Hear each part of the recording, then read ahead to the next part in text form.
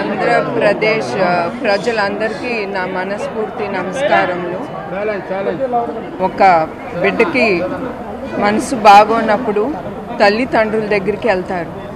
అందుకే నాకు ఎమ్మటే దుర్గమ్మ తల్లి దగ్గరికి వచ్చి ఆవిడ ఆశీర్వదనం నా బాధలు చెప్పుకోవటానికి నేను ఇక్కడికి వచ్చాను. ఆవిడ్ని నేను కోరింది ఒకటే. మా ఆయన చంద్రబాబు నాయుడు గారిని రక్షించమని ఆయనకి మనోధైర్యం మరియు ఆయన ఒక్క కుటుంబం కోసమే కాదు ఆయన ఒక్కరి కోసం కాదు ఈ పోరాటం. ఈ పోరాటం ఆంధ్రప్రదేశ్ ప్రజల స్వేచ్ఛ కోసం హక్కుల కోసం ఆయన పోరాటం.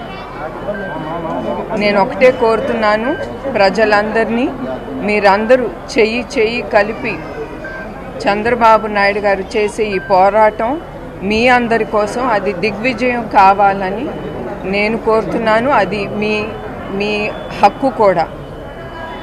సో జై దుర్గా దేవి జై హింద్ జై అమరావతి. భూమి చేసుకుని అన్నట్టు? అమ్మవారి దర్శనం గురించి వచ్చాం తీసుకున్నాం. వారి ఆశీస్సులు మనందరికీ ఉంటుంది. మీరందరూ ఆశీస్సులు కూడా మా కుటుంబం పైన ఉండాలని కోరుతున్నాం. మనం మన ప్రజలకి ప్రజాస్వామ్యం కాబట్టి హక్కు ఉంది. నేడు ప్రజాస్వామ్యం కూని చేస్తున్నారు. మీరందరూ తెలుసు ఇప్పుడున్న ప్రభుత్వం చేతిలో ప్రజాస్వామ్యాన్ని కూని చేస్తున్నారు. అదే ఎందుకంటే మన నారా చంద్రబాబు నాయుడు గారిని రాత్రి రాత్రి హఠాత్తుకు వచ్చి ఎప్పుడో రెండు వందల ఇరవై ఒకటో సంవత్సరం ఉన్న కేసు తీసుకుని వచ్చి ఇప్పుడు హెరాస్ చేయటం ఇది చాలా అన్యాయం దర్గా మోసం ఇదంతా వెంజన్స్ తీసుకుంటున్నారు. మన మన ఎస్పెషల్ మన నారా చంద్రబాబు నాయుడు గారిని. ఆయన యావత్ తెలుగు రాష్ట్ర ప్రజలకు ఎంతో కష్టపడుతున్నాం. మేము తెలిసిన విషయమే. మన ఐదు సంవత్సరాల పరిపాలనలో యావత్ భారతదేశం అంతటా మొట్టమొదటి స్థా- స్థానం పెట్టిన ఏకైక ముఖ్యమంత్రి నారా చంద్రబాబు నాయుడు గారు.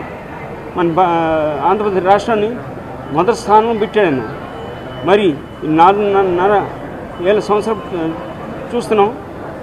మనం పరిస్థితి ఎట్టాలి ఎట్టయిపోయి మొదటి స్థానం ఉన్న- ఉన్న వాళ్ళం ఇవరికి అడుక్కుని అడుక్కోవడానికి చెప్పుకోవడం లేకుండా చేశారు ఈ ప్రభుత్వం. మన హాయిగా విదేశాలు తిరుగుతున్నాడు ఆయన ముఖ్యమంత్రి. మన ఆంధ్ర రాష్ట్రం వదిలేసి మన దౌర్భాగ్యం అది. మళ్ళీ మన నారా చంద్రబాబు నాయుడు గారిని మన ముఖ్యమంత్రి చేయటం మనం మన ధర్మం. మన వంతు దానికి కష్టపడదాం.